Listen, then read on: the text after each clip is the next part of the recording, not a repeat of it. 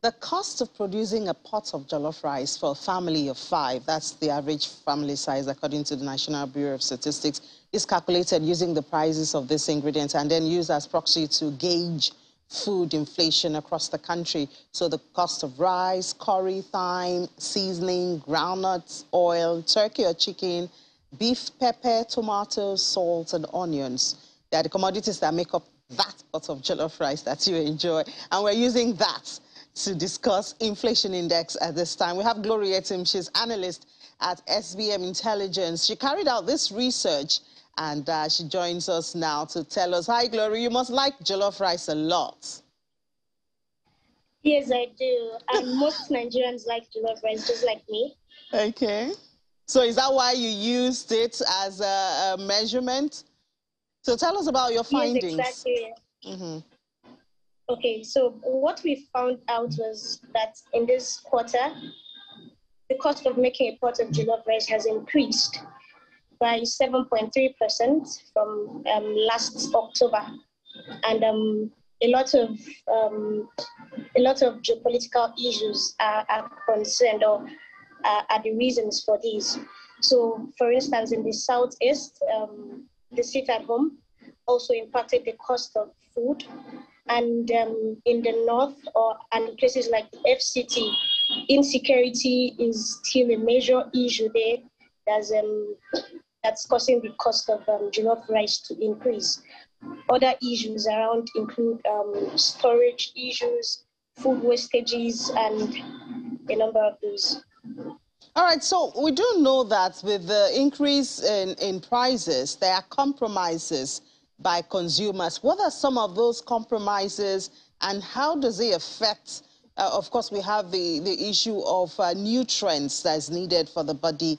And, you know, and of course, when you don't have the right nutrients, you're talking of a, a, a threat to good health. So what are the compromises that some consumers have been making and what is the cost of that compromise that they are making? One of them is that Nigerians are abandoning quality for quantity. So, in the course of our research, we found out that um, people were not so much concerned with the quality of what they are eating. What they're concerned about is, you know, the quantity. They just want to feed. They just want to eat. It's not like um, it's not like okay, I, I want turkey, I want this. In fact, one of the people we quoted in the report said she had long ago removed turkey from her, her list of protein. And, you know, she'd moved to chicken and then she'd moved to um, fish and she has even moved to egg and the, the cost of egg has also increased. So exactly. Customers, are, yes, so that they're, they're kind of, you know, running out of alternatives. Mm.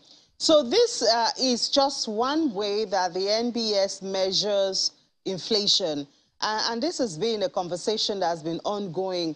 The basket of commodities used to measure inflation. Uh, do you see the inflation figures, you know, as a capturing the realities of our time, you know, or do you think there's a need to rejig that basket, the content of that basket that is used to capture inflation? I think that um, the baskets that are used in measuring inflation are not they are not arbitrary baskets. So um, there are definite measures, and these are measures that um, that are in line with some of the um, some of the measures that Nigerians use to to buy food, sort of sort of um, Derica and all of that.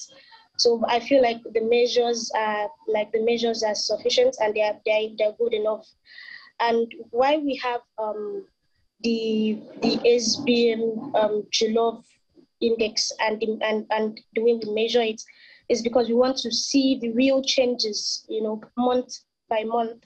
We want to see um, what food ingredient changed, and you know, it's more relatable, and it's it's more like um, what the average Nigerian feels. The issue of uh, a food import bill, uh, which the CBN says has risen by 45%. Uh, how much of this content of this pot of jollof uh, contributes to this food import bill? Okay, so um, one of the things that has risen is uh, protein, like um, sources of protein. And, um, you know, in our Jollof index, we have um, turkey, we have um, we have chicken, and we have we have beef. So um, this this sources of protein has has really increased, and um, apart from that, you know, the alternatives that people are now using, like like the egg too, has really gone up. So um, that's that's like it. So, what from your perspective stops Nigeria from? I mean, why can't we have our own poultry, our own protein? What stops us? Even when we talk about the rice, you go to a lot of homes today, you still see the imported rice. And yet the government has been talking about homegrown rice, local rice available. We've had in different states, different initiatives. What from your findings is stopping Nigerians from really looking inwards for these staple, staple foods that, that we actually need? Okay, one of that is insecurity. You know, um, there's so much insecurity in the north, and arable lands are no longer cultivated. Apart from that, we have to move away from um, just supporting smallholder farmers, which is like um, the policy initiative of the government. We have to move to mechanized agriculture. We have a population that is growing at 2.5. So, you know, smallholder farmers cannot catch up with that um, population rate. So we have to look at, you know, mechanizing agriculture, making food available at large quantities like it is in other countries. Apart from that, we, we also have to, you know, improve on our storage, you know, our storage facilities. Some of the items that are food produce that we eventually make are wasted, and they are wasted as a result of the lack of storage. So those are the things that the government should consider away from, you know, their their policies of um, supporting smallholder farmers. What about individuals? So we're, we're not leaving everything at the doorstep of the government. What about, you know, private investors? Are they doing enough when we talk about storage, preservation, logistics? Are, are, are the, private, the private sector, is the private sector doing enough, you know, to develop these areas? I would say that um, we don't have a, a, lot of private sector investment in this area. And I, I think the government shares the blame because, you know, when there's a need for a thing like that, what you do is that you, you incentivize people to take up that, um, those kind of, um, um, you know, ventures. So I, I, don't think there's a lot of in, in incentives for people to to take up storage um, businesses in Nigeria. So, for instance, if, if you look at, um, for, I'm, I'm talking about the level of the individual now. So, if you look at what most individuals use in storage, it's refrigerators, and you, you can see what's happened in, in like the last month in terms of um, the cost of diesel, the cost of um, fuel, fuel scarcity, and all of that. So, you know, the, the private individuals need to be incentivized to be able to go into these businesses.